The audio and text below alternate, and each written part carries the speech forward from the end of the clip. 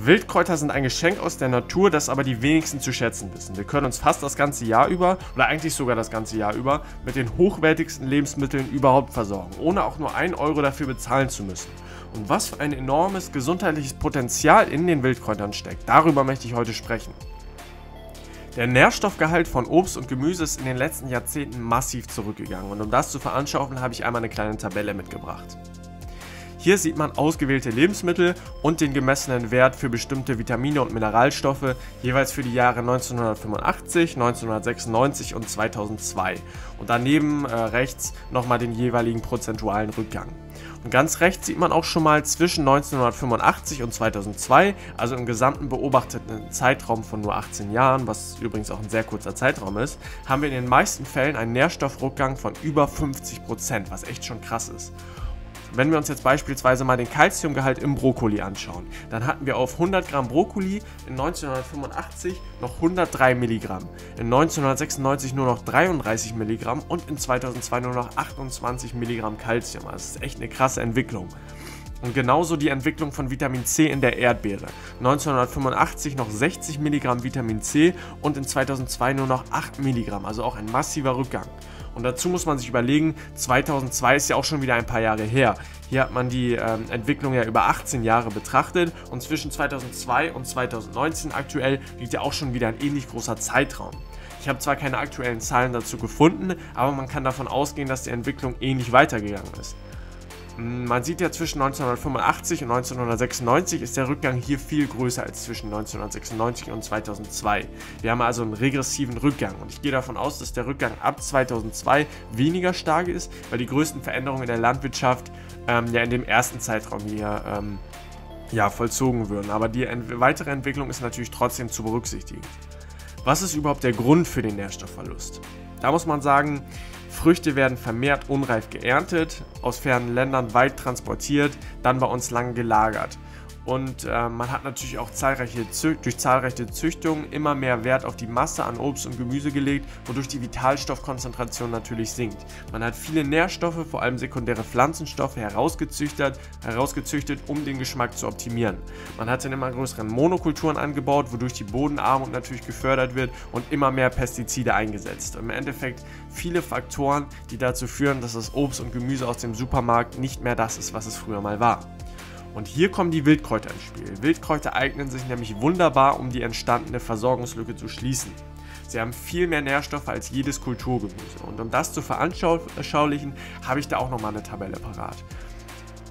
Oben sehen wir hier den Gehalt für unser Kulturgemüse. K steht dabei für Kalium, P Phosphor, Mg ist Magnesium, Ca Calcium, Fe ist Eisen und dann noch Vitamin C und Beta-Carotin.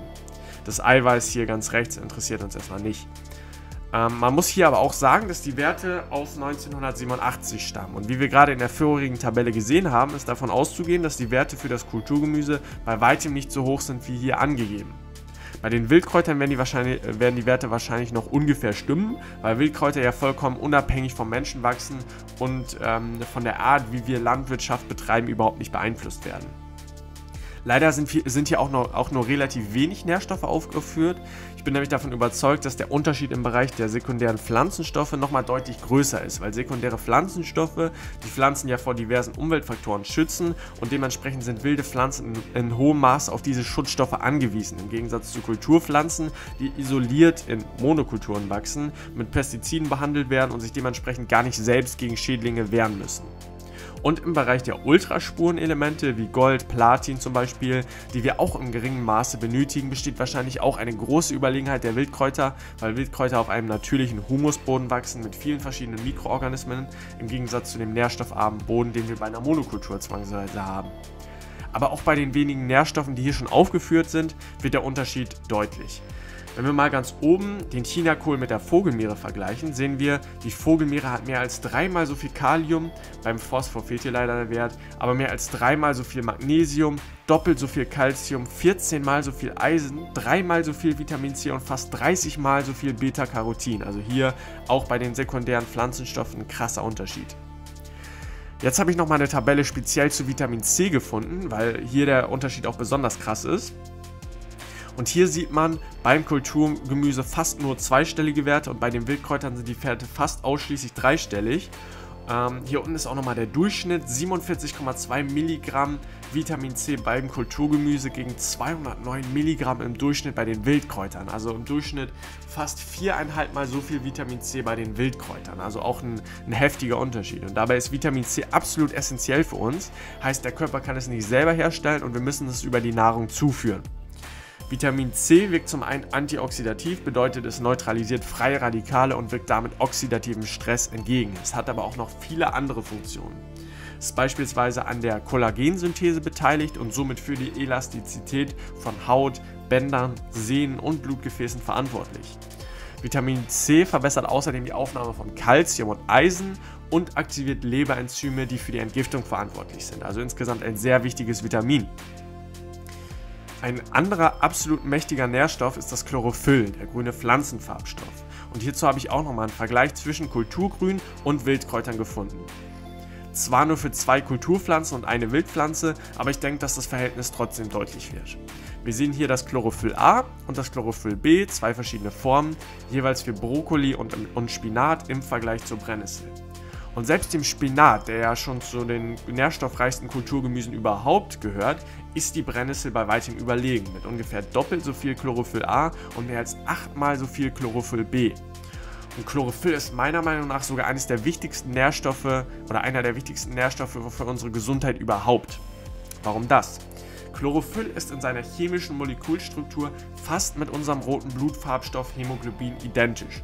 Der einzige Unterschied besteht darin, dass das Chlorophyll Magnesium als Zentralatom trägt und das Hämoglobin Eisen, sonst ist die Struktur vollkommen gleich. Das Hämoglobin ist in unserem Körper mit 90% Hauptbestandteil der Erythrozyten, also der roten Blutkörperchen. Und durch diese Ähnlichkeit stimuliert das Chlorophyll die Produktion der Erythrozyten. Das Hämoglobin ist ein Protein, welches Sauerstoff binden kann. Und weil die Struktur immer die Funktion vorgibt, haben die Erythrozyten die Aufgabe, Sauerstoff von der Lunge in die Zellen und Kohlenstoffdioxid wieder in die Lunge zu transportieren. Und wenn wir jetzt bedingt durch das Chlorophyll mehr Erythrozyten haben, kann mehr Sauerstoff in die Körperzellen transportiert werden. Und das ist von enormer Bedeutung, weil ein Sauerstoffmangel im Gewebe für viele Krankheiten überhaupt erst die Grundlage schafft. Dazu kommt, Chlorophyll fördert außerdem die Entgiftung und Schwermetallausleitung des Körpers. Durch unsere heutige Umwelt sind wir nämlich alle in einem gewissen Maße mit Schwermetallen belastet. Und das können wir durch die Aufnahme von Chlorophyll aber deutlich reduzieren. Der aktive Teil des Chlorophylls besteht nämlich aus einem magnesiumhaltigen Porphyrinring, so heißt die Struktur. Und die Schwermetallionen in unserem Körper, zum Beispiel Aluminium oder Blei, ersetzen dann die Magnesiumionen im Zentrum und werden dann in Form eines sogenannten Chelatkomplexes ausgeschieden. Die enormen Nährstoffunterschiede, die wir jetzt gerade gesehen haben, hängen wie gesagt unter anderem damit zusammen, dass unser Kulturgemüse immer mehr auf maximalen Ertrag gezüchtet wurde. Und in diesem Zusammenhang wurden aber auch viele Stoffe zwecks eines besseren Geschmacks aus dem Kulturgemüse herausgezüchtet. Und so fehlen unseren Kulturpflanzen zum Beispiel die Bitterstoffe. Ich meine, welches Gemüse schmeckt heutzutage schon noch bitter? Da fällt mir ehrlich gesagt fast nichts mehr ein. Wildkräuter hingegen schmecken sehr bitter, sodass der Geschmack viele, die zum ersten Mal Wildkräuter essen, sogar abschreckt. Einfach weil unsere Geschmacksnerven überhaupt nicht mehr auf Bitterstoffe eingestellt sind. Dabei sind Bitterstoffe ebenfalls von enormer Bedeutung für unsere Gesundheit. Besonders bei der Verdauung spielen sie eine große Rolle. Die Bitterstoffe stimulieren nämlich, wenn wir jetzt Bitterstoffe über Wildkräuter konsumieren, die Nervenzellen auf unserer Zunge. Und das führt dazu, dass das vegetative Nervensystem noch bevor wir überhaupt ähm, ja, die Wildkräuter runtergeschluckt haben, ähm, führt es dazu, dass das vegetative Nervensystem die Speichel- und Magensaftproduktion hochfährt. Und die Amylasen im, im, Speichel fangen bereits im Mund an, die Kohlenhydrate enzymatisch aufzuspalten und sorgen dafür, dass die Nahrung dann schon vorverdaut im Magen ankommt. Im Magen unterstützen die Bitterstoffe dann die Verdauung, indem sie die Produktion von Magensäure und die Durchblutung der Magenschleimhaut anregen. Und das ist auch von enormer Bedeutung, weil viele eine gestörte Verdauung haben, gerade weil sie zu wenig Magensäure produzieren. Dann im Darm regen die Bitterstoffe die Peristaltik an, also, ähm, also quasi die Muskelkontraktion im Darm, um die Nahrung zu transportieren, was auch sehr wichtig ist. Und sie stimulieren die Bildung von Verdauungssäften und verbessern so insgesamt die Nährstoffaufnahme. Also zusammengefasst kann man sagen, dass die Bitterstoffe absolut wichtig sind für eine gesunde Verdauung. Wildkräuter wachsen ohne Eingriff des Menschen in der natürlichen Umgebung. Unsere Kulturpflanzen hingegen wachsen in Monokulturen und mit Kunstdünger und das bringt leider auch einige Nachteile mit sich. Jede Pflanze hat ja individuelle Anforderungen an den Boden und bestimmte Mineralien, die sie aus dem Boden zieht. Und in der heutigen Landwirtschaft werden tausende Pflanzen einer Art dicht an dicht nebeneinander angebaut. Und da all diese Pflanzen die gleichen Mineralstoffe aus dem Boden ziehen, kann sich der Boden nicht mehr regenerieren und laugt im Hinblick auf diese Mineralien aus. Und die Bodenarmut, die sich daraus entwickelt, macht dann den Einsatz von chemischen Düngemitteln erforderlich. Meist werden da sogenannte NPK-Dünger eingesetzt und die bestehen aus Stickstoff, Phosphor und Kalium, gerade weil man weiß, dass Pflanzen in erster Linie diese Mineralien für das Wachstum benötigen. Dadurch, dass diese Mineralien dann aber direkt zur Verfügung stehen, oder das ist erstmal ein Vorteil, dadurch, dass sie zur Verfügung stehen, wachsen die Pflanzen schneller.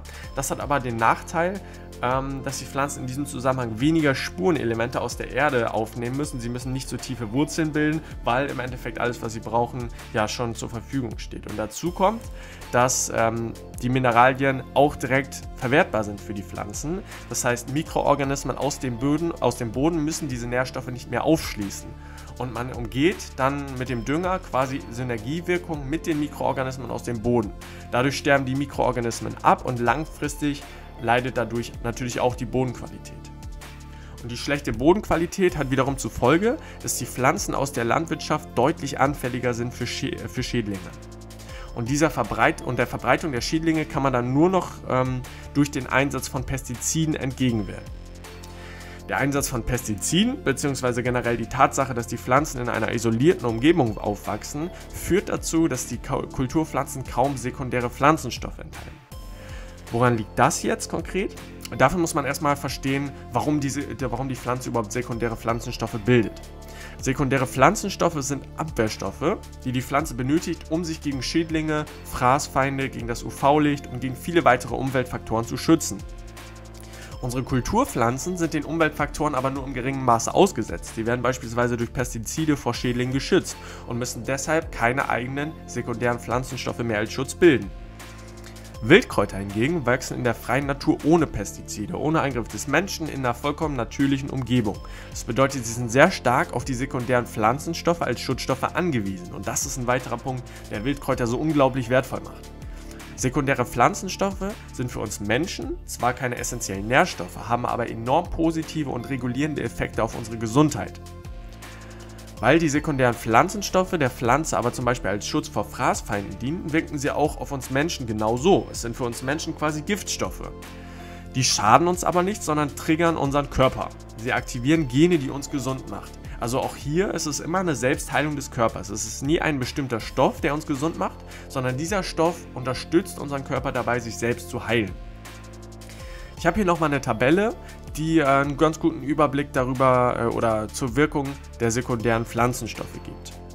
Hier sind die verschiedenen Gruppen der sekundären Pflanzenstoffe aufgeführt und die entsprechenden Wirkungen. Und hier sieht man schon in der ersten Spalte, alle sekundären Pflanzenstoffe wirken antikanzerogen.